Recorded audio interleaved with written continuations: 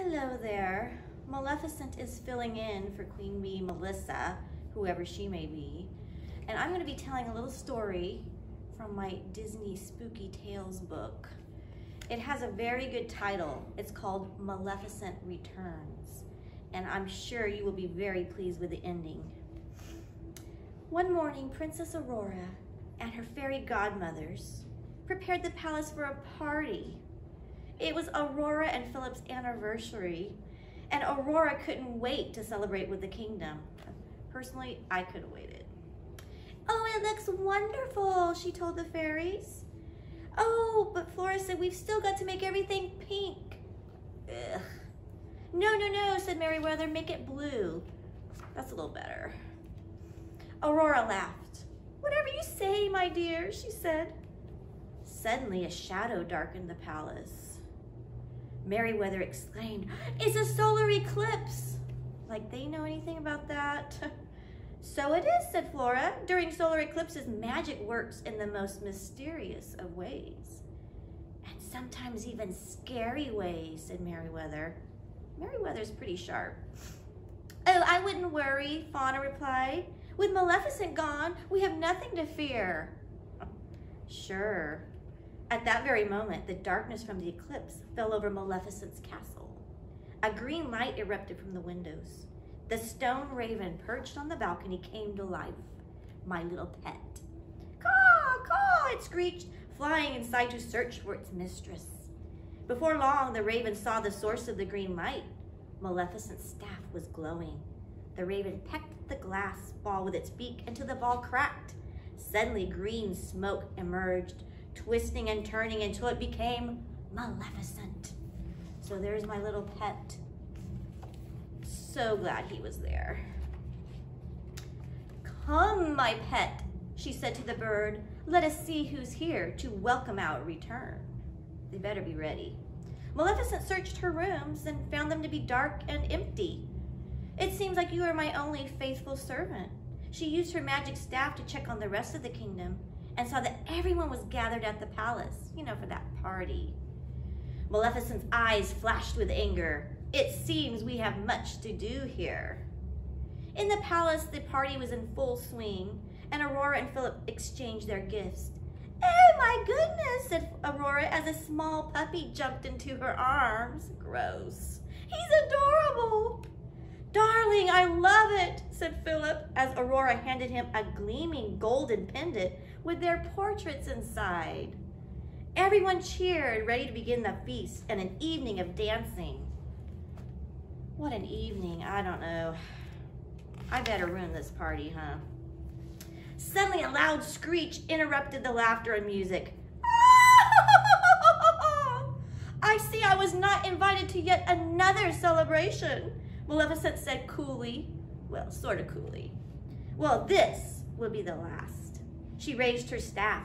Fire and ice, moon and sun turned skin and bone into cold, hard stone. The green mist surrounded Philip, the fairies, and the guests. They instantly turned into statues, even the new little puppy. Without the company of your loved ones, you will wither like a wilted rose, said Maleficent leaving the palace in one swift turn. She swished her cape. Don't I look magnificent? Quite a bit taller too there. Tears fell from Aurora's face as she looked at Philip and the fairies. She didn't know what to do. She should have had magical training. At that moment, her animal friends rushed from the forest into the room. Don't they have fences around the palace? They'd been too late to the anniversary party and had seen everything from the window. Tch, Nosy. They tried to comfort Aurora, but I can't stay here, she said. I must go to Maleficent and break the spell. Yeah, do you think I'm gonna greet her? Though her animal friends tried to stop her, she ran out of the palace. As she got closer to Maleficent's castle, black clouds formed in the sky. But Aurora kept running, determined to save her kingdom. I think it's gonna be too little too late. Lonely already, my dear? Maleficent cackled when the princess approached. I don't cackle, do I? Maleficent, said Aurora, I demand you lift the curse on my people. Well, I couldn't, even if I wanted to help you. A spell like that cannot be reversed. But what if you turned me to stone instead? said Aurora. You would do that? Spend eternity as a statue while your friends and family could live? I would, said Aurora bravely, but you must swear that they will awaken. I believe that can be arranged, said Maleficent, towering over the princess and lifting her staff into the air. Aurora closed her eyes, bracing herself for the curse. But as soon as Maleficent uttered the words, there was a flash of light and a scream. Aurora watched in shock as the evil fairy changed into her dragon form. Cool, right? But what? Disappeared? Wait a minute. This is not the story I remember. I don't know. Back at the palace, it says Prince Philip and the others awoke. You mean I kept my promise? Worried that Maleficent had taken Aurora, Philip rushed out of the castle. Wait for us, the three fairies cried. Suddenly, a familiar figure came running toward them. Aurora, Philip cried, are you all right? What happened? Aurora explained everything. Flora smiled at her. Your selflessness reversed Maleficent's spell and rid the world of her once again. Remember, love is the strongest kind of magic. She said that with a straight face. Oh my goodness. The group headed back to the palace. Soon everyone knew how Maleficent had been defeated, but don't you believe it? They resumed the party and continued the festivities late into the night, celebrating their courageous and noble leaders and their love for one another. Well, I personally hope they get stomach aches from that. So I think someone switched my book. I do not know who did that, but I am not very happy with that ending. So I will just disappear.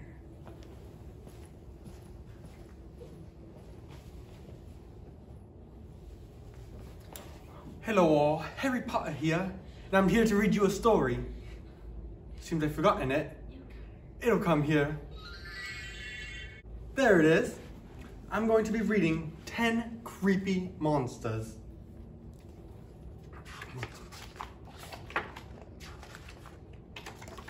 Ten creepy monsters met neath a gnarled pine.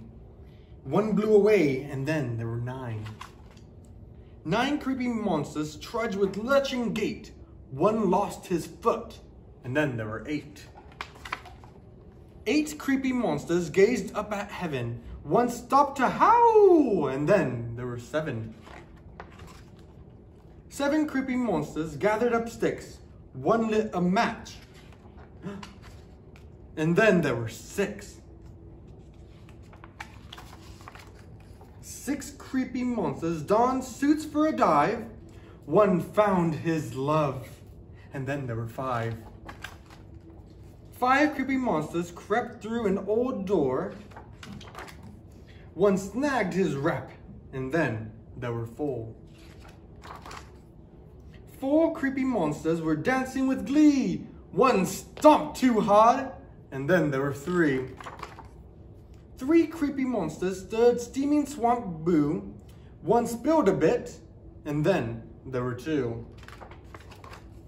Two creepy monsters were still having fun. One saw the sunrise. And then there was one.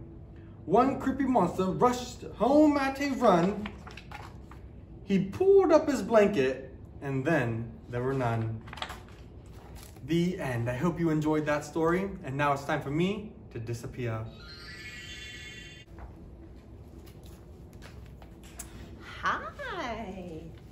So, speaking of creepy monsters running away or creepy things running away, I actually have a finger play I want to share with you. And this one is about five little bats. So, show me your five little bats. And here we go. Five little bats flew out one night over the hill and far away. Mother bat said, eek, eek, eek, eek. But she didn't know they said that, huh? But only four little bats came back. So we lost a bat, oh no, here we go. Four little bats flew out one night over the hill and far away. Mother bat said, eek, eek, eek, eek. Any tune you want, doesn't matter. But only, how many? Oh, we lost another one. Three. Three little bats flew out one night over the hill and far away. Mother bat said, eek, eek, eek, eek, but only two. Oh no. Go a little bit faster.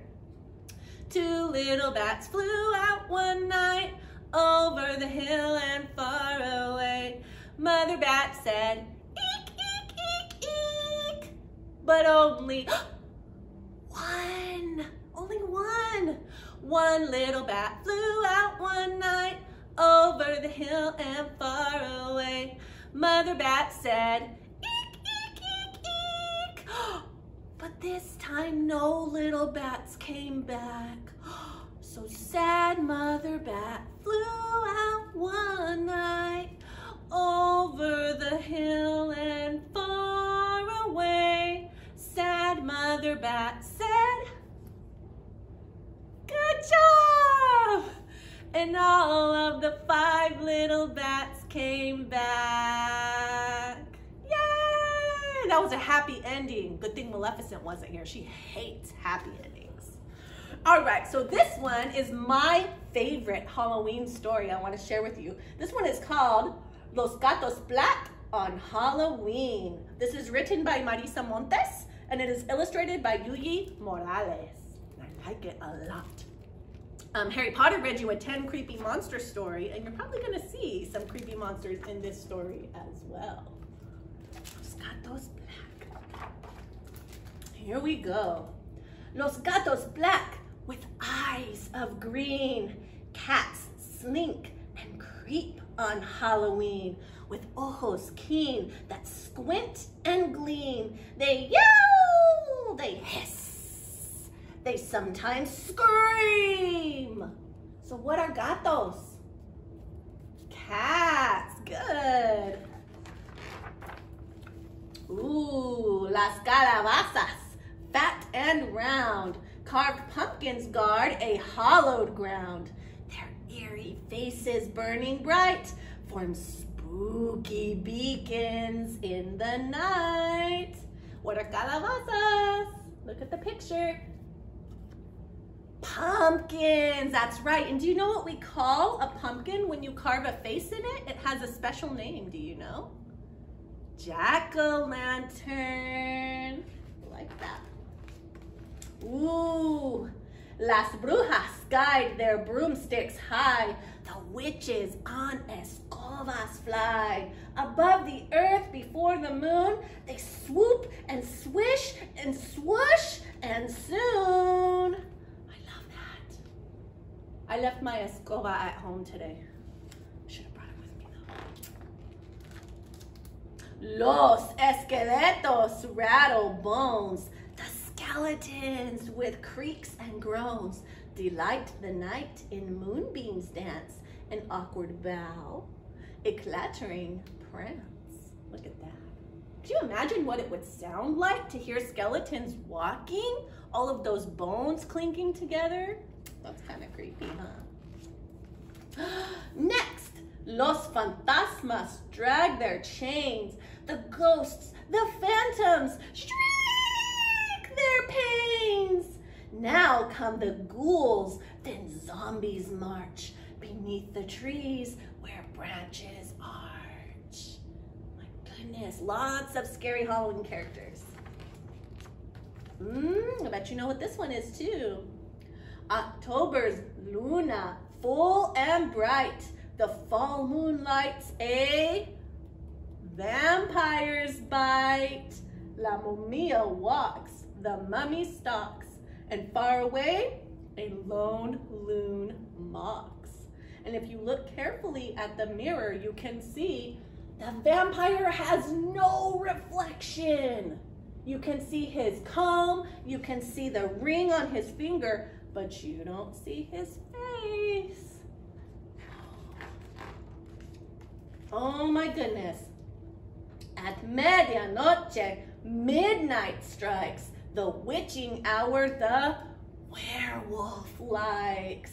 The bloodhounds bay, the dogs howl, Beware! The wolfman's on the prowl. Ooh, at midnight. They sometimes call that the witching hour. What am I dressed like today? That's my favorite time. The grave sites shiver, headstones shake, las tumbas open, tombs awake. The corpses with their cold, dead eyes, los muertos from their coffins rise. Oh my goodness, they're waking up. And in a slow and strange parade, the creatures of the night invade a haunted casa long asleep, the mansion's secrets buried deep. So all these characters are heading to what? What's a casa? A house. Yes, by the magic of this night, this noche filled with chills and fright, the monsters crowd the haunted hall. Los monstruos throw a monstrous ball. Really? They're playing soccer? No. What kind of ball are we talking about here? Maybe a ball like when Cinderella went to the ball? Yeah, like a big party with dancing. Ooh, on harpsichords, once tucked away, some unseen dedos, fingers play. Forgotten music, tinkling clear, la música, the dead can hear. Oh my goodness, that looks like that might be Beethoven or Mozart, who knows? One of those famous composers. Ooh, las brujas boogie, muertos bop, los esqueletos do the hop. The ghosts in their transparent waltz glide through the wolfman's somersaults. So he's doing flips in the air and the ghosts are gliding through him. knock, knock, knock.